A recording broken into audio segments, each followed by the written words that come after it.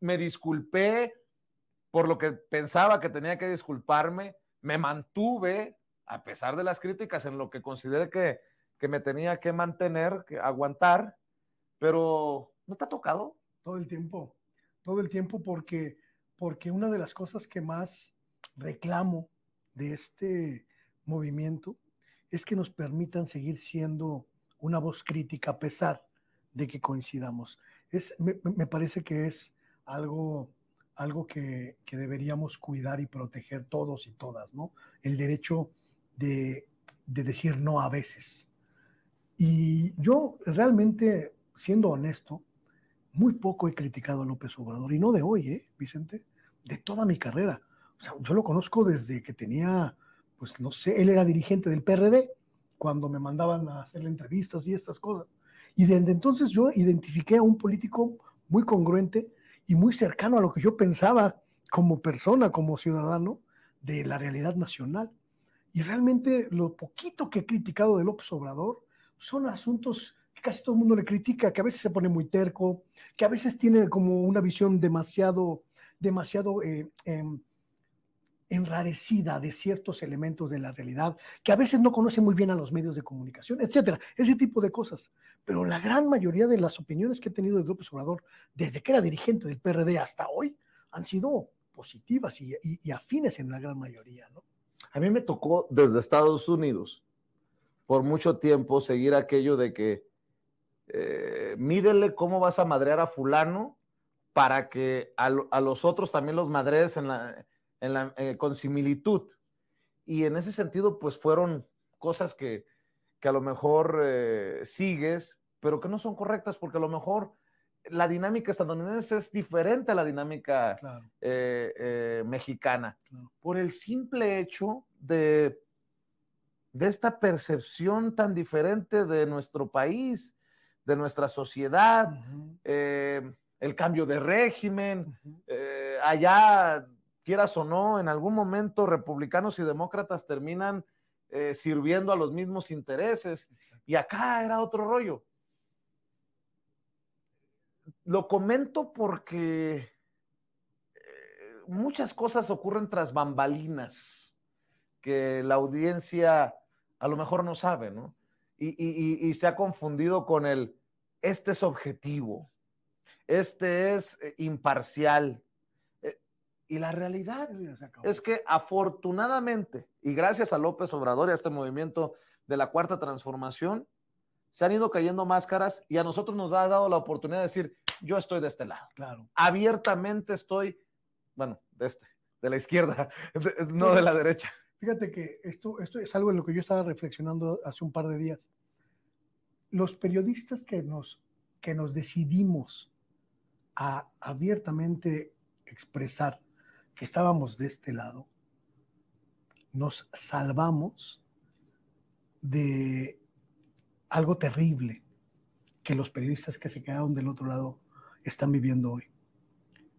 Nosotros, al menos yo, tú, quizá una buena parte de los colegas con los que estamos haciendo este, esta, esta lucha, abiertamente dijimos, sí, soy de izquierda, sí, sí apoyo a la transformación, sí apoyo a López Obrador.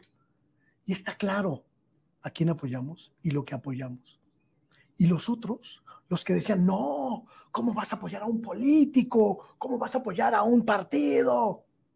Terminaron apoyando a los que destruyeron a México. Terminaron algunos defendiendo a García Luna. A García a Luna. Calderón. A Claudio X González. Todos mis amigos queridos y amados que me escupieron a la cara cuando decidí abiertamente apoyar a López Obrador están hoy tocando la puerta de Claudio para que les dé dinero. Se postraron no ante un poder político democráticamente electo por 30 millones de personas. Se postraron ante un señor que les da dinero.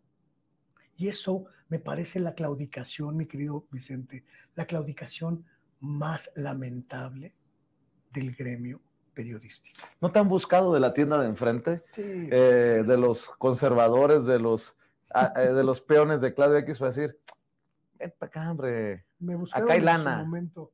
Me buscaron en su... Antes me querían mucho, Chente. Antes me querían mucho.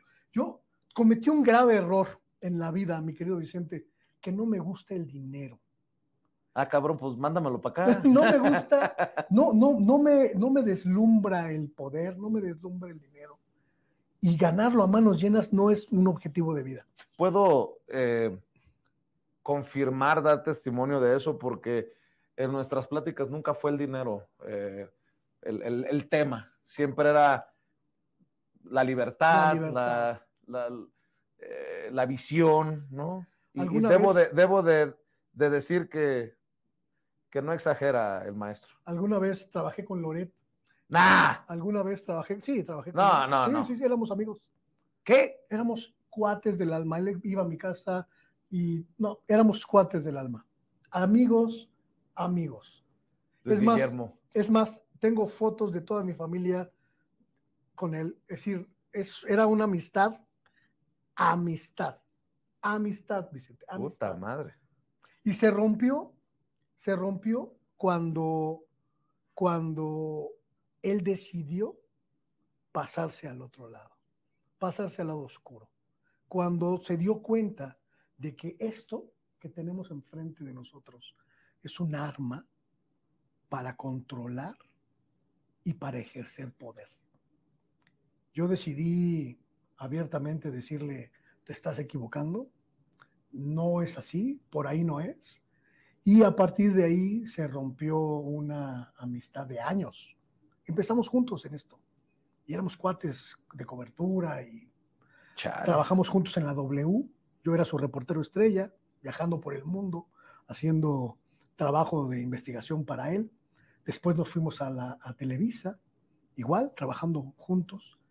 Y se rompió en Iniciativa México, a donde también trabajé, cuando me di cuenta de que el derecho de picaporte ya estaba bloqueado por las fuerzas de Genaro García Luna. Eso habla para mí muy claro de quién es él, pero también de quién soy yo.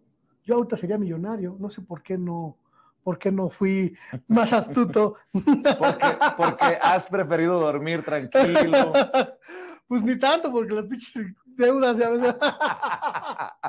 no, Oye. No, yo creo que, mira, yo creo que uno elige su camino en el periodismo y toma una decisión.